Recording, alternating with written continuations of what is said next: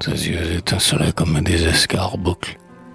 Ses longs cheveux noirs qui retombaient en boucle se crispaient sur sa tempe.